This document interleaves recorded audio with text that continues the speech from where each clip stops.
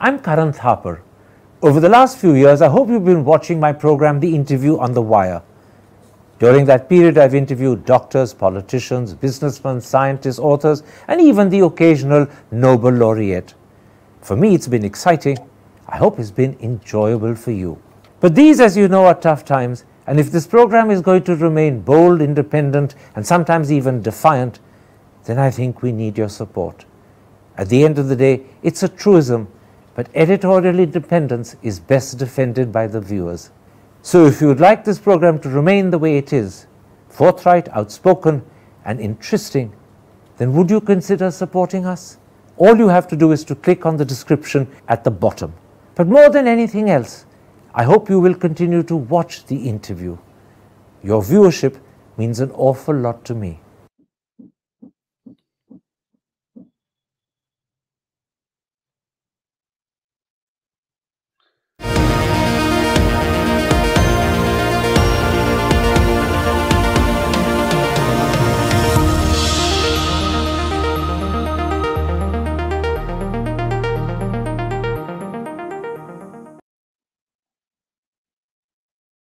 Hello and welcome to a special interview for The Wire. Many people would say questions about India's status as a liberal democracy have become irrefutable. But now, with Arvind Kejriwal's arrest and financial action taken against the Congress party, has a new and bigger and perhaps more worrying issue arisen. Does India still qualify as an electoral democracy? That's the key issue I shall explore today with the Sol Goldman Professor of International Studies and Social Sciences at America's Brown University, Ashutosh Varshney. Professor Varshney joins us live from Cambridge, Massachusetts. Professor Varshney, let's start with the question Is India still a liberal democracy? Before we address the second issue, does it continue as an electoral democracy? In an article that you wrote for yesterday's Indian Express on Thursday, the 28th, you said, and I'm quoting, India's liberal features have declined to such an extent that it's no longer a liberal democracy. Can you start by identifying the areas where there's been a precipitous collapse? So, um, liberal democracy is defined as electoral democracy plus some other features, which are persistent, which cover not only elections, but also um, how the government conducts itself, how the governments conduct themselves, and how um, the polity conducts itself. So those features are uh, typically four in all conceptions of liberal democracy freedom of expression, freedom of association, which is essentially about uh, freedom to form non governmental organizations, and sometimes the definition includes the press, um, freedom of religious practice, and the fourth thing is protection of minority rights.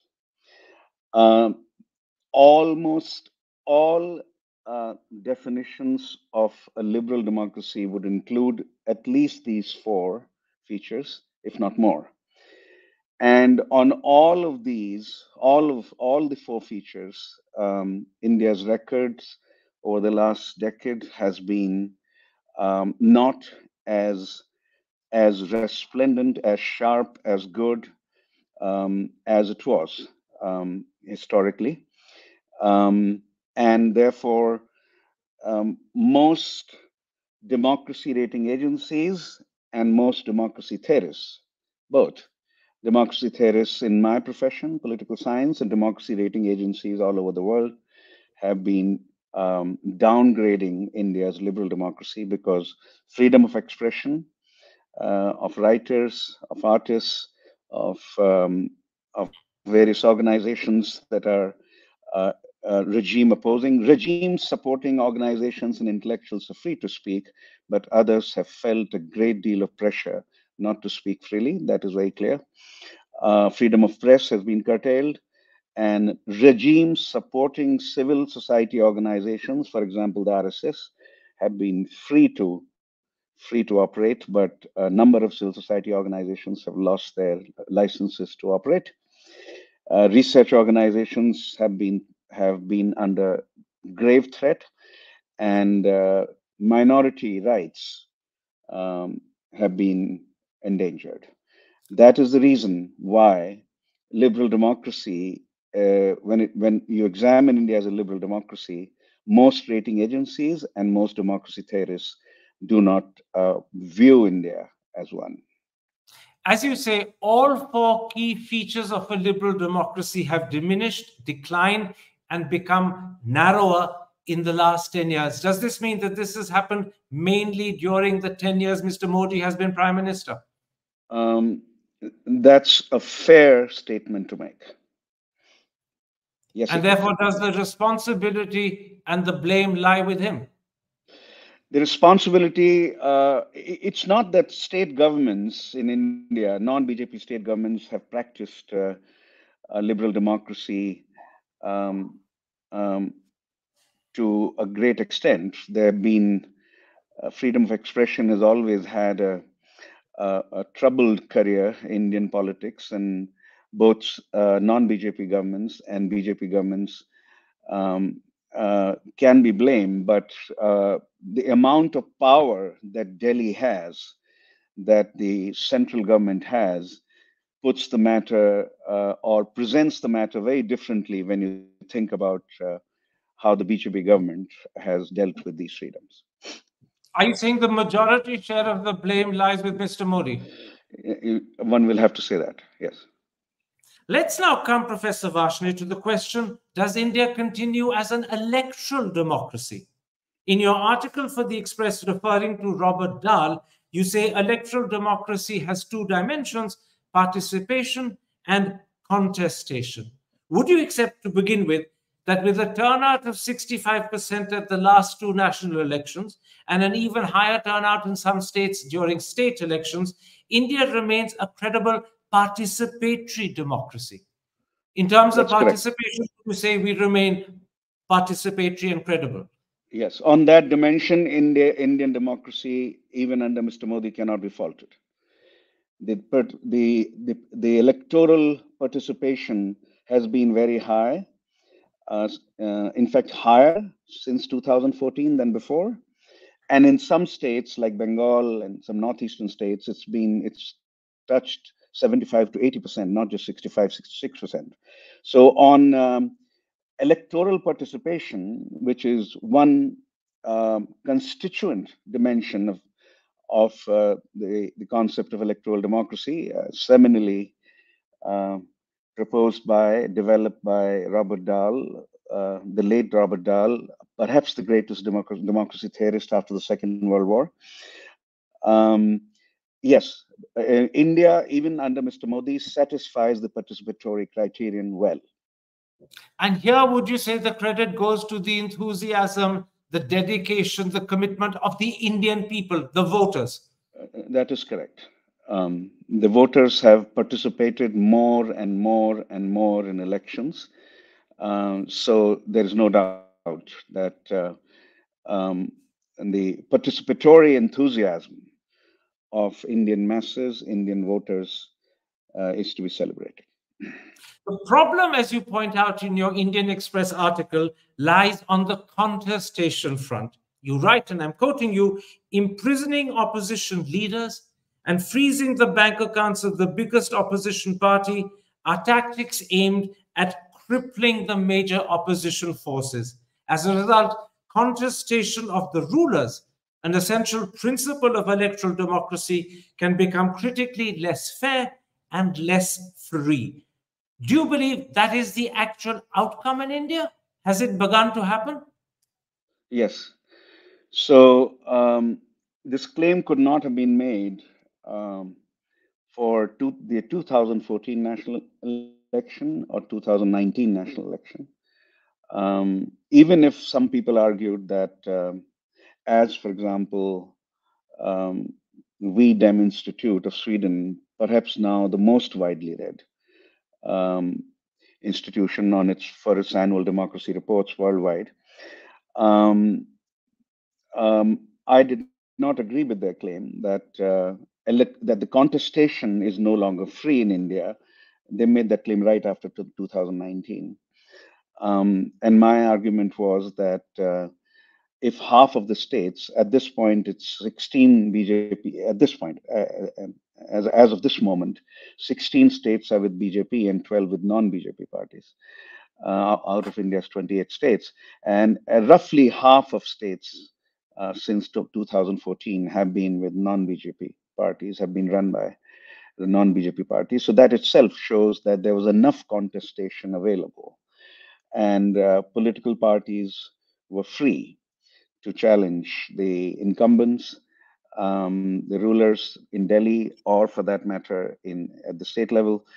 Uh, but now, um, the selective use of law to uh, and the uh, to to um, jail opposition leaders and the selective use of law to um, cripple the financial capacity of opposition forces um, is leading to a situation where electoral contestation uh, can be expected to be seriously um, declining uh, and is declining, I think, um, and therefore, um, the other critical dimension of an electoral democracy, namely free contestation of the rulers, of free contestation of the incumbents, is now in serious crisis and declining. So here, if I understand your answer correctly, you're saying the arrest of Arvind Kejriwal, a sitting chief minister, after the declaration of the model code of conduct, as well as the income tax action being taken on finances of the Congress party. Both of them are crippling contestation. Both of them are reducing that second critical dimension of an electoral democracy that Robert Dahl wrote about. It's impairing it very badly. Yes. So, um, uh, adversarial freedom um, is an extremely it's a critical part it's a constituent part it's a defining feature if participation is one adversarial freedom uh, or freedom given to opposition parties to contest uh, the ruler is um, is a constituent defining element of of electoral democracy and uh, um, had these things been done earlier uh, you could have said that uh, you could have perhaps given the benefit of the doubt to the ruling regime. But uh, after the declaration of the model code of conduct and so close to the elections, um, use of law in this manner um, is uh, amounts to constriction of electoral freedom, constriction of electoral space, um, and therefore on the contestation dimension, India's score is, is declining and will soon be presented as such by the rating agencies. Now, you make one further point in that Indian Express article. You say, because no one can predict who will be targeted next for imprisonment, India threatens to become a democracy by fear. The spread of fear surely will further cripple contestation, won't it? And make the situation, which is already bad, worse. That is correct. The um, the fair dimension of electoral contestation or political contestation is should now be recognized as very serious and as you rightly put it as very seriously impairing uh, freedom to contest the the rulers no doubt about that as you said it won't be long before the agencies that evaluate india's democracy be it the Economist Intelligence Unit, be it VDEM or whoever, will begin to pick this up. How much damage do you think this is likely to make to India's rating, or is that almost impossible to tell? So, uh, all the agencies, whether the Economist calls India flawed democracy, I think that was the term it used. Um, Freedom House calls it a, I think, semi democracy or half democracy already. Um, I think semi democracy is the term they use. It's roughly the same idea. And VDEM has been the harshest. VDEM, uh, the third agency, it's now the most widely read at this point. Um, uh, for them, India became an electoral autocracy, not uh, as early as 2020. and that's where India is headed now. That's what the rating agencies will say that it's it's it won't be the old style Saudi Arabia style um, autocracy. No, no one would make that claim. Where elections either don't take place or elections are absolutely meaningless. Even even in 2014, uh, 2024 elections and the state elections, some states will be won by opposition parties. There, there is there is no doubt about that. Uh, there are three more elections coming up later this year. There are some elections coming up um, next year and the year after. Um, so uh, at the state level, uh, I think it's uh, clear that the BJP will not be able to dominate the electoral space or hegemonize the electoral space, especially in the south. Um, and it may not be able, able, to capture Bengal. We don't know. Uh, however, um, the it's it's not it's not it should not be viewed as a binary zero or one it is it should be used it should be viewed on a scale zero to one scale a sliding scale and it's on that sliding scale that uh, india's uh, uh, india is declining on the contestation dimension and will be remarked upon very soon let's at this point professor varshney try and form a big, broad picture of where this leaves Indian democracy as a whole. If India has ceased to be a meaningful liberal democracy, and now in terms of contestation, it's ceasing to be a meaningful electoral democracy, then what is the overall picture emerging of Indian democracy? And before you answer that, let me add two other questions. How bad, badly impaired is Indian democracy? Or is the word impaired a euphemism? Um, I think impaired is the right word. Significantly impaired, you might want to say. Um, um, the what exactly for the the uh, institutions of oversight, constitutionally given institutions of oversight, uh, for example, the judiciary, for example, the election commission will do, remains to be seen. And uh, um, there are people are not very confident observers as well as uh, opposition politicians in india and, and, independent observers like outside or inside independent observers like me who have no party affiliation um, uh, we are not very confident about what the election commission would do will do to make sure that the contestation is absolutely free and unrestricted and and the electoral space is not constricted. Um, but um, but uh, I don't think we can give up the the observers of Indian democracy or the supporters of Indian democracy. We can give up on the judiciary. Uh, it's not clear what the judiciary would do, how it will handle the remaining cases, or or whether it will be able to uh, uh make sure that the electoral freedom is restored. I think we are not sure about that yet. But uh, surely, so long as the judiciary is available as a relatively independent institution if uh, of oversight, or not an entirely, if not entirely independent, relatively independent institution of oversight, you cannot, uh, will not be able to call India an autocracy. Um, can I can I interrupt at that point? Yeah. The judiciary yeah. does theoretically remain available as an independent institution of oversight, but it has not. And I make this point deliberately. It has not so far responded in any way to Congress's petitions, either at the High Court level, and there's one now coming up at the Supreme Court next week to help Congress in its present plight.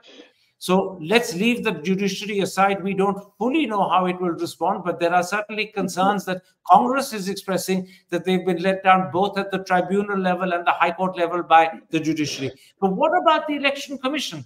how much of the responsibility for India's impairment, serious impairment to use your phrase, as a contestational electoral democracy lies at the doorstep of the election commission? A very great deal. Um, election commission is not an arm of the executive. Constitutionally, it is an independent supervisory body its main job is to conduct elections in a free and fair manner. And and after the model code of conduct, conduct has been announced, it has to especially watch out for um, restrictions on electoral freedom, on the on the freedom of political parties to contest the, the rulers. Uh, election commission. That's why I said the election commission, um, um, whether it's doing its job now, there are extremely serious doubts about it. Extremely serious.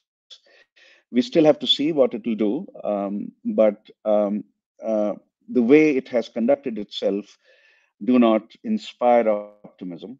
On judiciary, I might say one thing: um, the the the stand it took on electoral bonds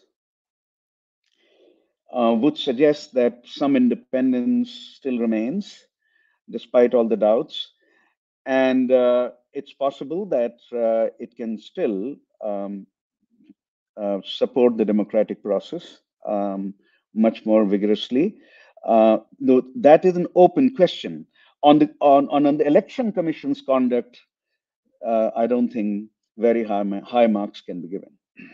So, in your eyes, the election commission, just when we needed to be upright and courageous, has actually let down Indian democracy.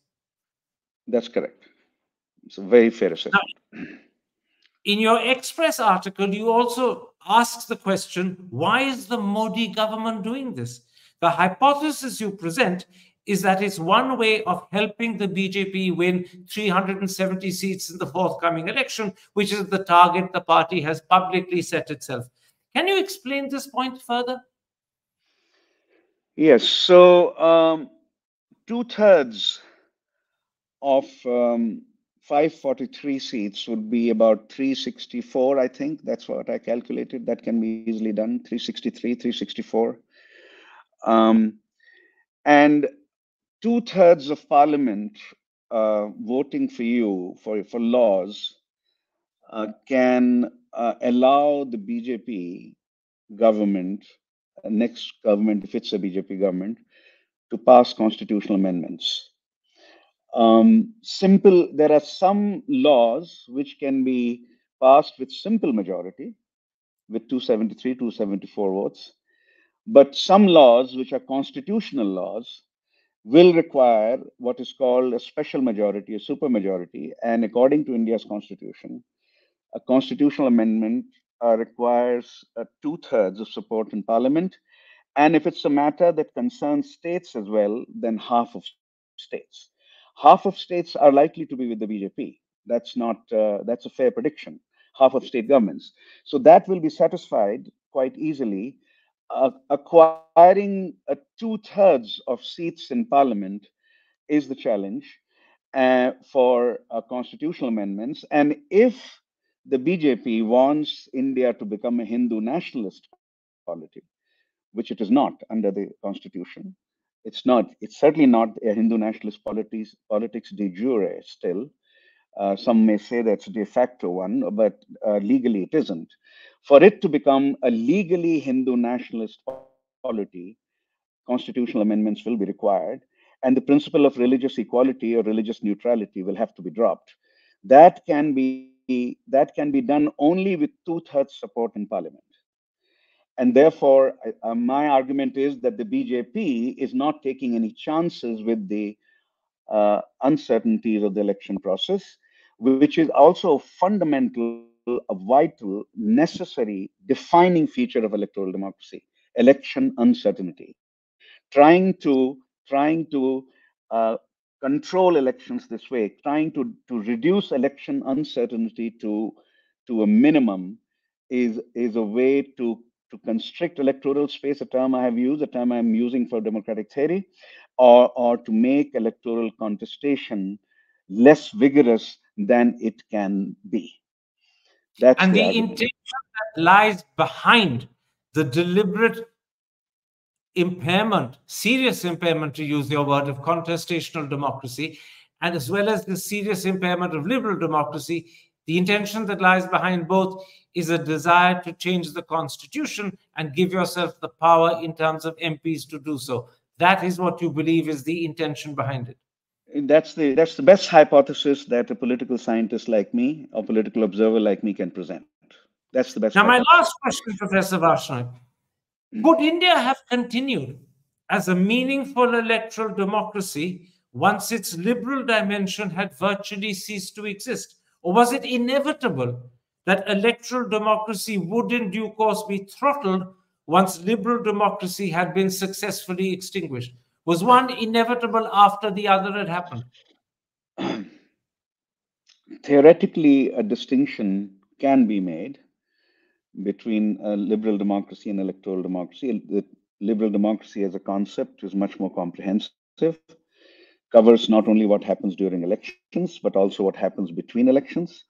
Um, and as I said, those four features are common to all conceptions of liberal democracy. Some some conceptions are, are more comprehensive than that, but at least those four features appear everywhere.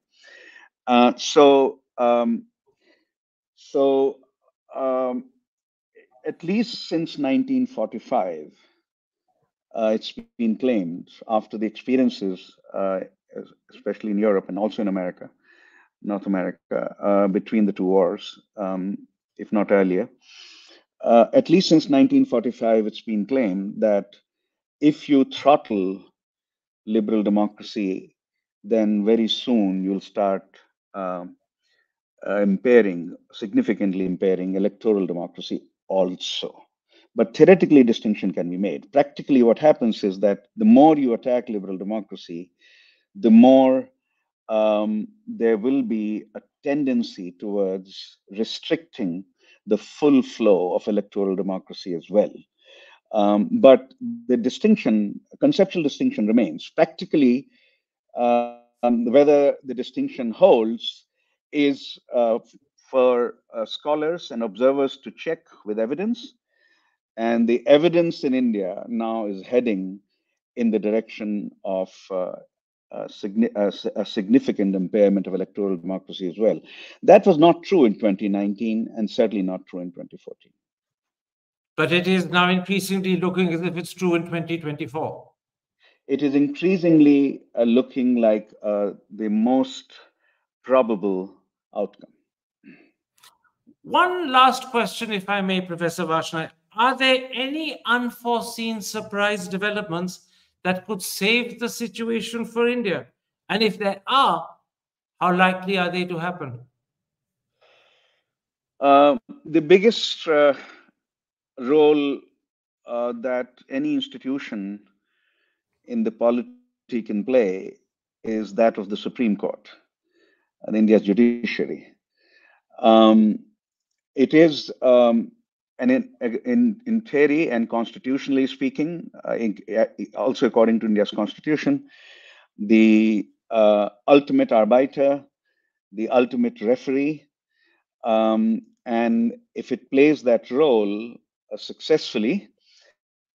Um, uh, for example, if it um, uh, restores um, the freedom of political parties to campaign, um, and whatever laws have to be used against them, maybe not during the campaign, not during um, um, the electioneering, um, there would be some laws which will have to be maintained, but the idea that you're crippling political parties uh, to campaign and to contest the the incumbent, the government, that is um, uh, against uh, democratic principles, uh, against uh, any notion that uh, my entire profession has of what a democracy means. But uh, so so much depends on what the judiciary does. Um, theoretically, at, at, theoretically also what the election commission does, but most people would not um, uh, be very hopeful about what the election commission would do, whether it would deliver on its constitutional obligations. But we cannot lose hope uh, when it comes to the judiciary. The judiciary still has the power to intervene and make the process, um, the electoral process, much cleaner and much, uh, much more, much fairer. And doesn't that mean, Professor Varshney, that as far as the situation facing the country at the moment today is concerned, A lot depends upon how the judiciary, and I suppose at the end of the day, we mean the Supreme Court in particular, responds to Congress petitions regarding the income tax action being taken against them. There is absolutely no doubt that in conditions like this, the Supreme Court will be the ultimate arbiter, the ultimate guardian of Indian democracy. If the Supreme Court does not play the role of uh, a guardian of democracy, regardless of uh, regardless of um, legal guardian of democracy, regardless of the, the the political what political parties do, then Indian democracy would be in, in greater trouble in greater, greater trouble. Professor Varshney, thank you very much for making time for me. And in particular, thank you very much for waking up at the early hour of virtually six o'clock to do this interview. I'm deeply grateful. Take care. Was, Stay safe. It was a pleasure to talk to you, Karan.